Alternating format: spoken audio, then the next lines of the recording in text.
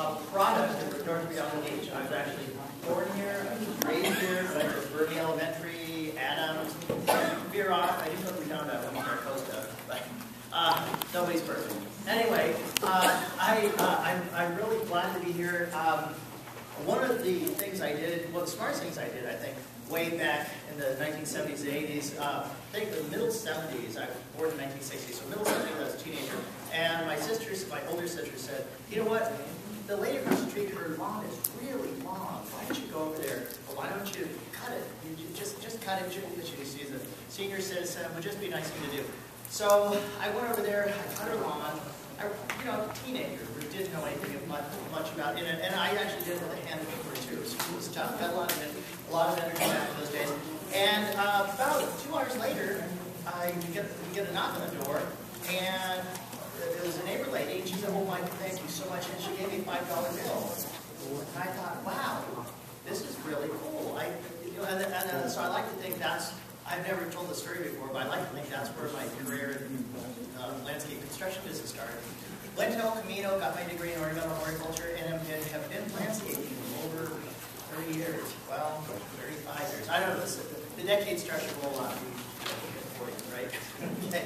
So, so one of the things, though, uh, about four years ago, the uh, after the last presidential elections, you know, there's a lot of things that, that people vote on. One of the things was on GMOs, uh, GMO foods. Now, GMOs have been around about 20 years or so.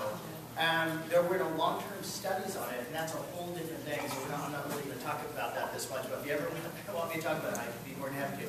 Um, but anyway, they, uh, I started getting a lot of calls from people, and they said, you know what, uh, GMO labeling got voted down, I forgot what the proposition was, or, or the initiative, but it got voted down, so we want to uh, build our own vegetable gardens. And I said, great, we can do that, we can build them, that's just, it's like building Legos, you know, we put drip irrigation system we put in a lot of vegetable gardens. And then about two or three months later, people started getting their water bills coming in. Like, oh, gee, I don't know if I can afford to grow my own food because, you know, it's it, water started going up. Does anybody, two questions, has anybody noticed, has anybody heard there's a drought? I would have asked that question five years ago. It's like, huh? Because you turn, every time you turn on the faucet, there was always water. And 20 years ago, a little over 20 years ago, my company landscaped the Manhattan Beach Botanical Garden, which was, at that time, was a really cutting-edge garden. It was, uh, it's a native garden, and back then people were like, what? You guys want to do what? You want to create a native garden? Back then, nobody had heard of a native garden. It's over 20 years ago. Now, it's like the cool thing. In fact, we're actually, the water district's actually giving people, you pull your grass out. Has anybody heard of that? You know, so, uh, it seems like my journey has just kind of been, you know, water conservation, and then we got into building ponds and waterfalls for a while, but the water recirculates, so it doesn't use much water. And then, uh, after this thing about the GMOs and people wanting to grow their own food, I said, you know what, there's got to be a better way. There's got to be a way that we can grow food and that we don't have to use as much water. And so it's like, the, uh, if you tie all of this together, I started doing the reading and research, and it's called sustainability. And sustainability, I'll tell you, sustainability, my definition, there's a lot of definitions, you can go to Wikipedia, but my definition of sustainability is this. Sustainability is living today without borrowing from tomorrow. Something we can read living today without borrowing from tomorrow. I'm going to show you a scene out of my backyard. Now, I told you I love Redondo Beach. I still live here. I'm in North Redondo. And I'm going to show you a picture um, of my backyard. Uh, one of the, oops, one of the um, pictures of my backyard. Okay, here. Boom. That's my backyard. So I just told you about, about the definition of sustainability. That's lettuce growing and it's growing vertically, and it gets better.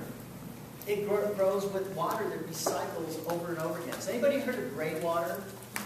Okay. Now, isn't that the bomb? You take a shower or you wash your clothes. That's one use. And then, you know, you have a plumber or environmental person who actually cuts a hole in your wall, and then you can actually, with that water that you just used, you can use it again to water like your fruit trees. Hmm. Isn't that great? You use it twice.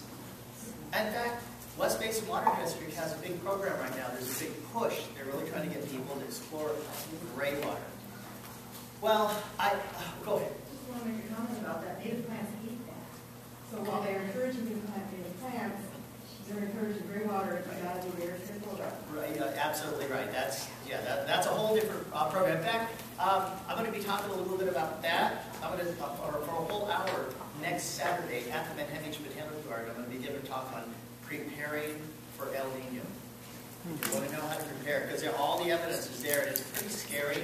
So I'm going to talk about how to deal with that, how to deal with El, El Nino, and I'm going to be considering that too. Okay, so, so gray water, uh, No, I, I talked to my plumber about the gray water thing, and Torrance said it's against city ordinance, collect gray water. Okay, five years ago, City of LA was against it. They issued four permits five years ago. Now it's in the thousands. Did they permit to do gray water? Um, technically, yes. Uh, okay, Charlie. Gray water mandatory in all new construction in LA now? I don't know about that. And single families, I think they, they made it so that it can be, Oh, okay, well, here's, and the, the top, the drought has changed the dynamics of everything.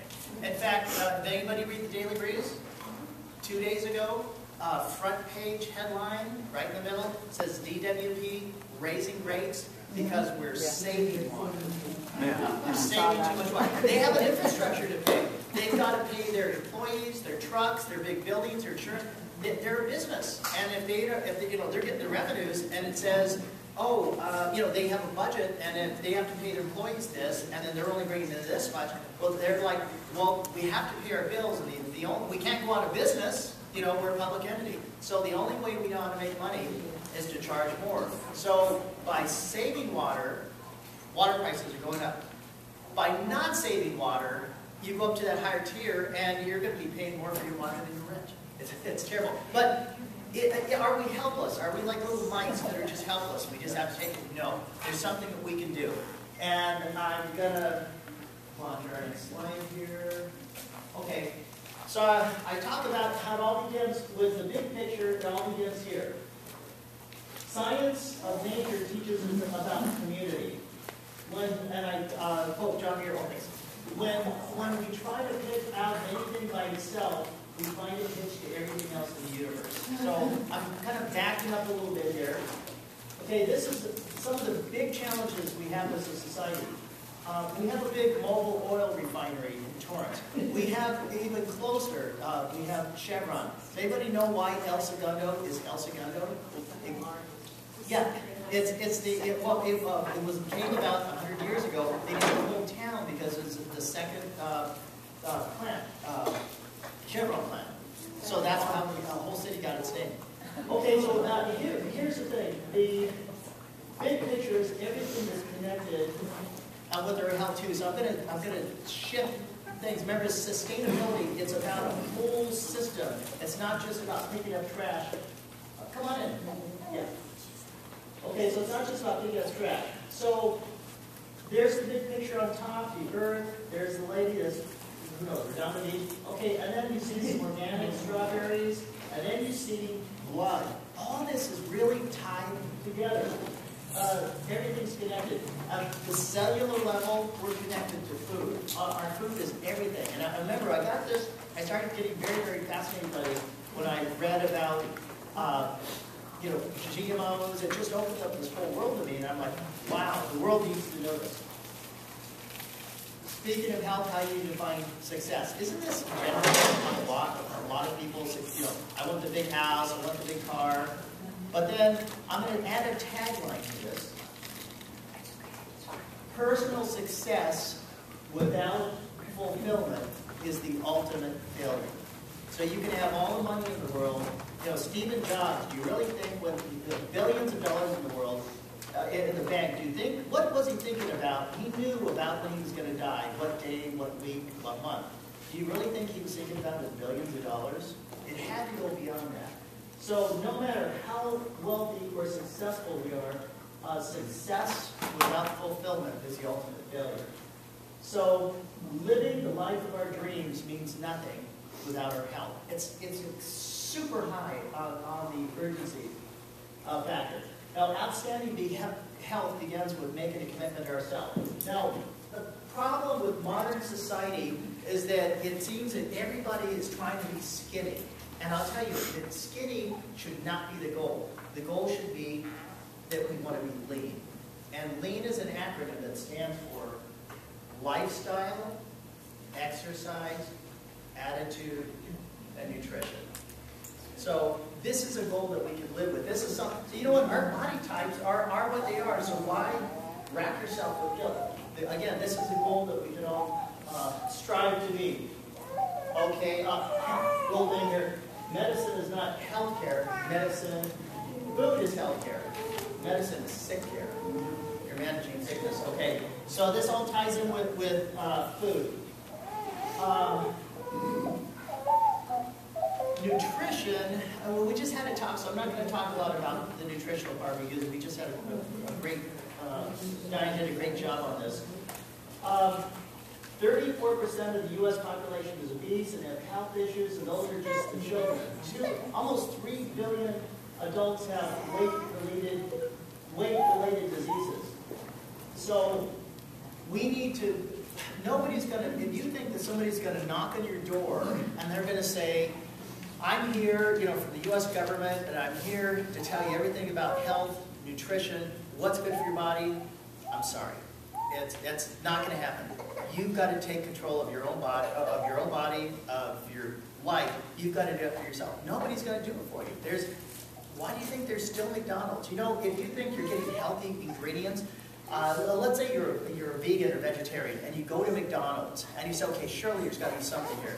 Did you know that uh, McDonald's french fries, you would assume they're potatoes and then fried in grease, two ingredients. Okay, well that would surely fit under those, remember we just heard a good presentation, nothing more than five ingredients. You do the research.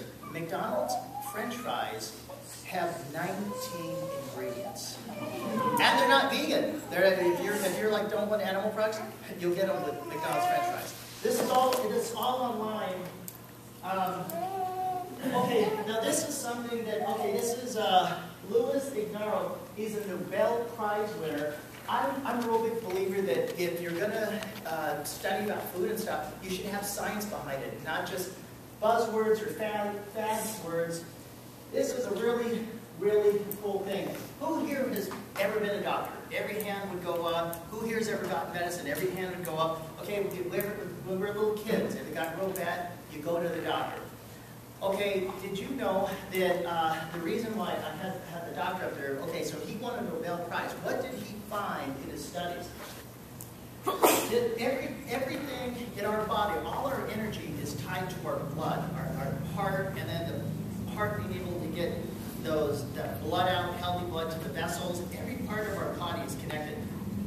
This is called, this is your artery right here, and so that's, those are your, your blood cells what that doctor found was that when you eat right, your, your body, your, your blood, there's actually uh, something called an endothelium layer. Big word, but all it means is it's medicine bottles. They create, they create something called nitric oxide that tells your body make the medicine. So if your body needs to repair, let's say you run a marathon. I ran one too many back in the 80s, ran about 50 marathons. I really tore my body down a lot, but my body was able to come back. And if you do any type of exercise, you're tearing your body down. But if you eat right, it actually repairs itself. And so that's what this is saying, is that there's microscopic medicine bottles that the medicine bottle opens up and it allows the medicine out. It also works the reverse way. If you eat bad, the medicine bottle's shut. And then you got to go to a doctor, you get the testing, and hopefully he's going to give you the right type of medicine, the right amount, and he's going to charge you for it. okay? So isn't it better to have your body eat right, have your body make your own medicine, give you the right amount, and it's free. It's, it's, it's amazing. This is actually science. You can look this up. You can look up that doctor, uh, Louis, Louis Ignarro, won the Nobel Prize uh, for, he went to UCLA School of Medicine. I actually know somebody who, uh, who's had discussions with him. It's really cutting edge science. This whole thing about eating right isn't just a fad. This is science-based. Okay, so this, this is a great slide. Uh, the world's best kept secret is out. your body produces its own medicine, but it doesn't when you're a couch potato. So, there's the couch potato. Come on in. Okay, couch potato, eating french fries, hamburgers, and so on, potato chips. And the blood sticks together, and these medicine bottles right here, you see they're just coated with this uh, sticky stuff. And they're closed. It, uh, not allow the medicine to come out. And then, how to open the pharmacy. Eat more fruits, vegetables. If you do meat, I would do the wild caught salmon. That, that's about th- th- th- that's about the most healthy thing you can do if you're going to eat meat. Okay, here he is again. A healthy endothelium, that, that layer in all your vessels, blood vessels, releases a chemical messenger called nitric oxide, which prompts the body to make its own medicine. So, science-based. This is it. This is it, folks. Ru- Write it down. Look at it later. It's amazing stuff. So, this is a good one. I want to give you another goal. Besides lean, I want to also talk to you about what the goal should be as we get older. Um, as we get older, our goal should be that everything works and nothing hurts. Isn't that a great goal? Okay, and, and we can do that. So, uh, medicine, the, so if you eat right, as we just had, had the speaker report me, you, you want to raise the lows. You know, there's antidepressants, pain relievers, anti-inflammatories. Eating right will actually, the medicine bottles inside of you will actually do that, and it'll lower the blood cholesterol and lower the uh, blood pressure. So, nitric oxide, that's the, that's the magic piece. I, I don't want to get too into the science of it, but just to show you what the end result is. For our heart, okay. So, he's eating all the right stuff. He's exercising. He's doing that lean lifestyle, exercise, attitude, nutrition. Uh, look at, you know, they're not stuck together. They're actually separated, so that means more energy. And look at those medicine bottles. The medicine's just flowing. Isn't that amazing? So, here we have again. This is just a review. Lifestyle, exercise, attitude, and nutrition. It, and it's, it's not that hard to do in today's world. We Google stuff, and it just, it happens. Okay, now, also too, just to make eating a little bit more simplified, I like to, uh, I'm also a certified health coach too, just something I do for fun. Um, there's something called traffic light eating, and so I like to, especially if, uh, if I'm dealing with kids, I like to say, here, this is a green food, this is yellow, this is red. I'll illustrate a little bit more. We have green light foods, that means go. So foods that are not manufactured, they're naturally colorful, they don't have uh, artificial colors in them. They can be eaten raw, low in calories, high in nutrients. Eat as much as you want. Uh, and usually they're found around, I'll, I'll, make a comment about, about the process thing too. Um, typically, when you shop, you, you go to Vons or you go to, it used to be Albertsons, whatever they are now. Okay, so you go around the, the center of the store, and where they usually have produce, it's on the outer edges. What's in the middle? Okay, the, okay, the, the, the, the cake boxes, you know, all the quote, processed stuff that's in boxes, I think that's what, you know, people generally think about. So, you know, when you start eating food, I mean, you eat raw almonds, I mean, you're starting to process that in your mouth, you know, you do the digestive process. So, I think it, what, what it is, is anything that's in a box, um, potato chips, packaged stuff that's, that's in a, that's ground up, that they pretty much, well, it, they sell it for taste. So, um, I'll, I'll have a few things. Okay, yellow light foods. Foods that are, they're not as nutrient dense, but they're okay, but you want to, you want to use caution. And then, uh, what about that muffin? red light foods. I'm not saying stop, well, I'm, I'm not saying stop eating, but I'm saying stop, think about it. And I got something from uh, uh, Tony Robbins, a motivational speaker. Uh, he he's about 10,000 people over at LA Convention Center this weekend. And, I got I got something from him, a quote, I'll never forget. He said, your destiny, your, the decisions you make, uh, the decisions you make are made by, that will create your destiny. Your, your destiny is created by the decisions you make every day. So every day we make thousands of decisions. So your decision, hmm, should I go to McDonald's or should I go over to MyFit Foods? Or, or if you don't have time, or if you have time, you know, do I go, do I go out to dinner, do I go out to Cheesecake Factory and have that big slice of cheesecake? Or do I have something that's more healthy? Your, your decisions you make every day, all of those add up to who you are today. Um, do not use your stomach as a treasure. I need not say any more on this. Okay, you're not born a winner, you're not born a loser, you're born a chooser. So, you know, nobody's born rich, nobody's born poor, nobody, nobody's born anything. We're born choosers. That's the only thing in life we have is our, ability to choose. Okay, make the right choice. Now, why is organic the right choice for parents? Well, uh, we don't, I'll just kind of glide, glide through some of these. Phytonutrients, um, okay, you could go to a,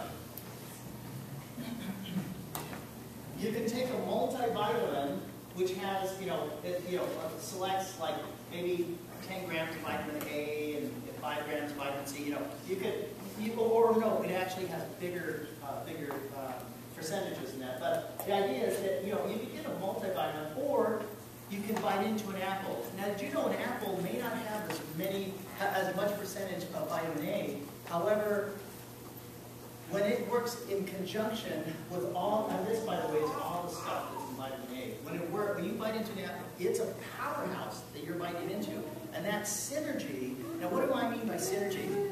Um, my company, we build waterfalls and ponds and stuff. Okay, if you have a 50 pound, let's say one man can pick up 50 pounds. So he picks a 50 pound boulder, and that's his, limit. He can't pick up anymore. Okay, now if you have a boulder that's 130 pounds, you're thinking, well, you're going to need three guys. Not really. You're going to, those, if you get two guys, there's a thing called synergy. When you have two people working together, they can actually lift a whole lot more weight if it was just one sing, single person. Same thing with fruits and vegetables. They have this synergy inside that they can do much more than if you were to, just to get it in, in a pill capsule form. And so, uh, a couple of buddies of mine, about a three thousand dollar, three three thousand pound boulder. Now that, that's Photoshop, of course. Just to illustrate, though, that, that you know the power of synergy. I, I thought I'd, I'd cute photo there. Um, okay, we have to start asking ourselves, how long are we going to ignore the obvious that our meat-eating culture is not environmentally sustainable? Um, I don't have time to go into this right now, but um, um, you just want to side. You are what you eat. And, and uh, you know, look, for example, chicken, if your chickens are eating GMO corn, um, the eggs they produce are not going to be nutritionally as good for you as like free range. And if you ever want to see Redondo Beach chickens, uh, I've got about 30 of them in my backyard, and I'll talk more about that later. I got a micro farm in my backyard. Okay, now we're going to go into a little bit about I- if, if you want to say, who, okay, we've all heard the drought, and we, and we want our water bill to go down. We all want to make a difference with the drought. Did you know if you eat one less hamburger a week, that's the equivalent of a whole week worth of taking a bath? I mean, you could really make a huge difference in this drought just by eating less meat and having more of a plant-based diet. Um, here's, a, here's another one too, these are just some of the statistics. Uh, 100, well, 144 hamburgers a year, you know, that's like one every few days. Uh, over 100,000 gallons of water. That's a lot of bath water. Okay, uh, a plant-based diet indirectly consumes about 600 gallons less of water per day. And the reason for that being is, what do cows eat? What do cows eat? They eat grass. They, you know, they, they eat products from the ground. What do the products of the ground eat? Water. a lot of water. The water district's telling us, pull out your grass because it takes up, it sucks up so much water. Well, what does a cow eat? They eat grass. They eat a lot of it. And so if you really want to make a difference, eat less meat. I'm not saying eat, uh, and actually, if you if you don't eat land animals, which take a lot of water, then you can eat seafood. I mean, they live in water. So it's really not, and, and it's actually better for you, especially the wild caught salmon. Oh, uh, sockeye salmon. Okay, just a little slide, to keep us on track here with health. So weight loss. Okay, so, so weight loss is what people should, you know, weight loss is what people are after. Get on that scale, you weigh less, that's a, uh-uh. What you want is you want fat loss. We don't have an overweight problem, we have an over fat problem. And so, uh, want to keep us on track with that. Okay, next slide. Ah, drought. This, by the way, is a, a current picture of California's largest, second largest water reservoir. So we are in trouble. I mean, this is science. This is NASA came out about a year ago and said that no, they came out about earlier this year, and they said that uh, we have, California has, their Jay Famiglietti, their a senior water scientist, said we have about a year of water left in reserve. And people started, they started panicking. They, I mean, who, who you have is a higher authority at NASA, right? Because they all these neat scientific tools. So uh, there were times said, okay, well, no, we won't be out of water, just out of water California, but they're going to be piping it in. Uh, they have always piped it in. Does anybody know how much water Southern California uses? A gallon and a half, oh, a billion and a half gallons per day of water. They pipe in. 20% of our electricity is used to bring in that water. So when you waste water, you're also wasting electricity. Um, I want to open you up to aeroponics. So, so I, I asked, um, or, I said that people were interested in uh, growing food and saving water. So if you are, there's something I want you to explore. It's called aeroponics.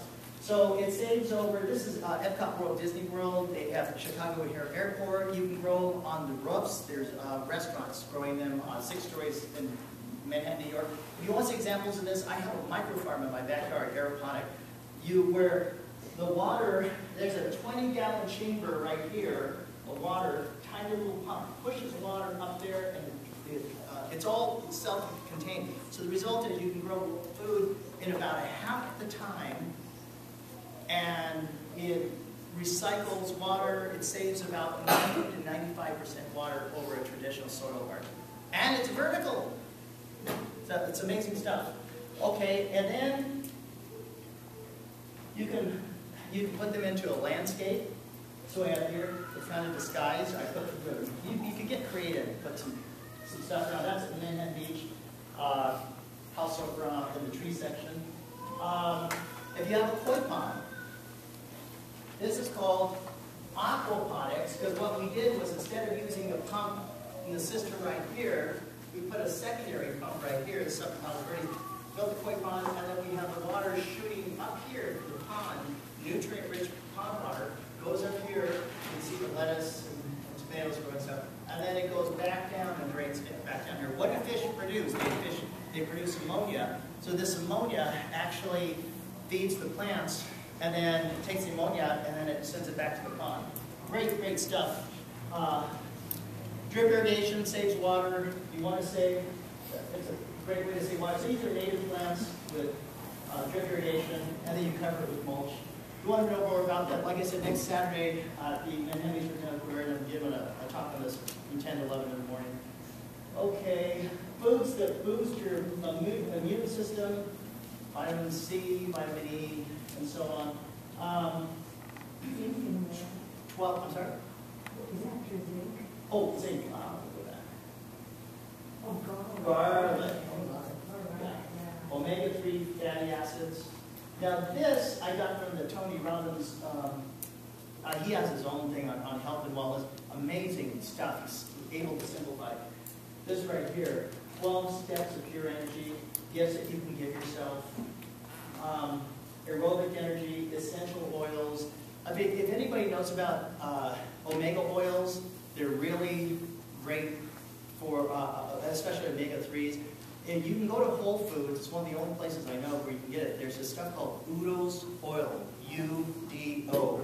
And um, it was, it, it- it's this perfect blend uh, put together by uh, a PhD named uh, Erasmus Udo.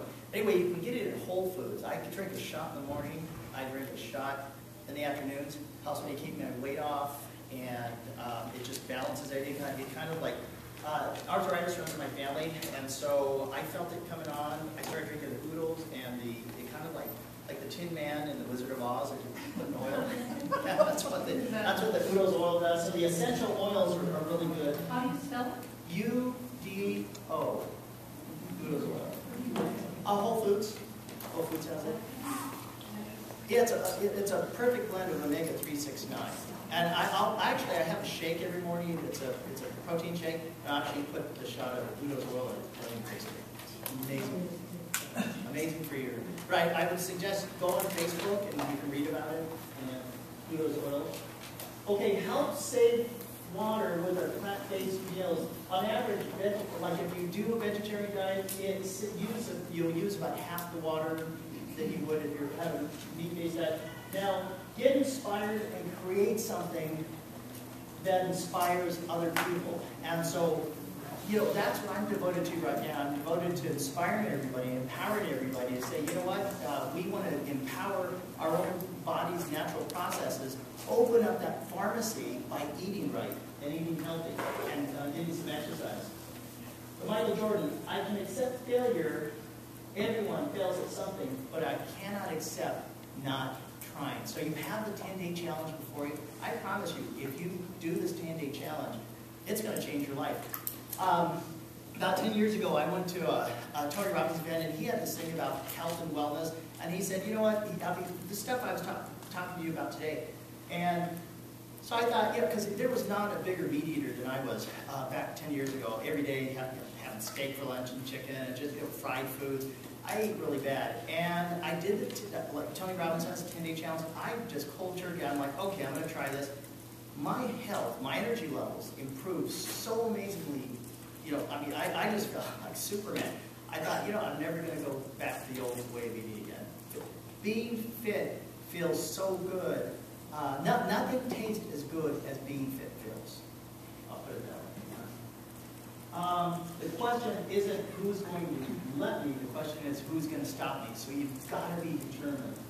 And the time for action is now. There's no, oops, there's no backup emergency planning. So this whole idea about water conservation, about taking care of our health, uh, aquaponics, aeroponics, all of this kind of ties together.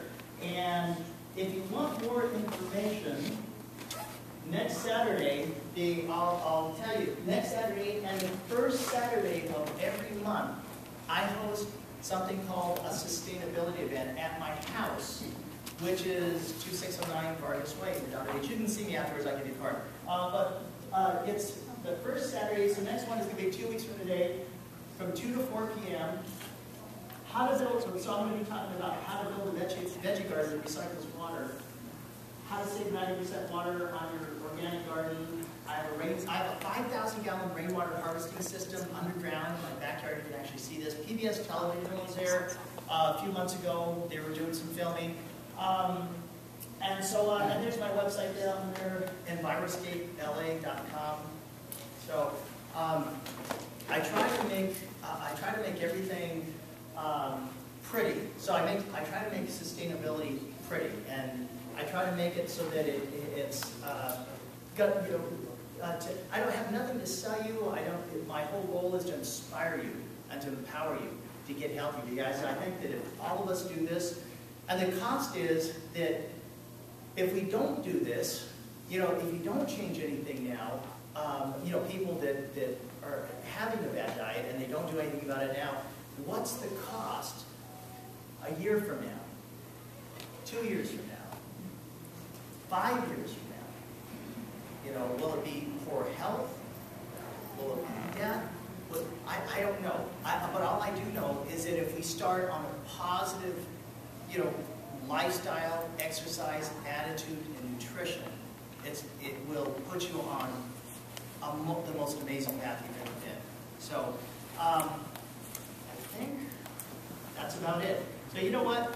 You might be, you know, maybe there's some doubts you have. Maybe there's some fears. And if you have fears, you know, the, the, because there's a storm out there. There's a huge storm, and the fear will tell you, you know, you can't do this. You cannot face the storm. And you have to have the resolve to look the storm straight in the eye and say, I'm going to do this thing. Thank you.